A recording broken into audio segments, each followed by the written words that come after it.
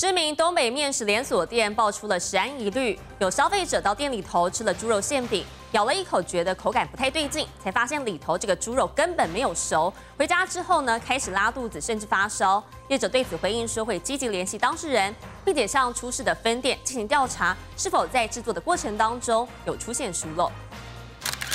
脆的馅饼也只咬了一口就觉得口感不太对劲，仔细一看里头的肉末，猪肉像是没被煎熟，生到整块还是粉嫩色，让当事人觉得离谱。知名东北面食连锁店竟然连肉馅没熟都不知道，猪肉生到发亮还敢端上桌。当事人说自己因为急着上班，店家以免单多招待一颗肉馅就先离开，但是返家后肚子非常不舒服，还出现发烧症状。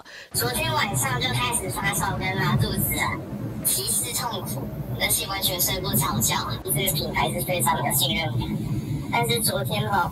吃到这个生的猪肉之后，就完全对这个品牌失去了这一个希望。食安疑虑让当事人对店家完全失去信心，就连网友看了都觉得扯，留言痛批这是在吃猪肉刺身包吗？还是生煎包？对此，店家也回应，他们的馅饼都是现点现煎，三个面必须煎上三分钟，会去调查清楚出事店家的制作流程是否出现疏漏。制作的这个人员，他在制作的这个过程中，是不是呃少了哪哪一个步骤？怎么也会确实，我们这样看照片看下来，就哎，真的蛮深的，这是不该发生的这个状况啦。当然也不是故意要出，就是生的给客人这样子，我们也很抱歉发生这样的事情，看有没有办法联络到客人。请稽查，如查获卫生缺失事项，将要求限期改善，而应加强人员训练。近日食安风波连环爆，让仰赖外食的消费者吃的心惊惊。记者综合报道。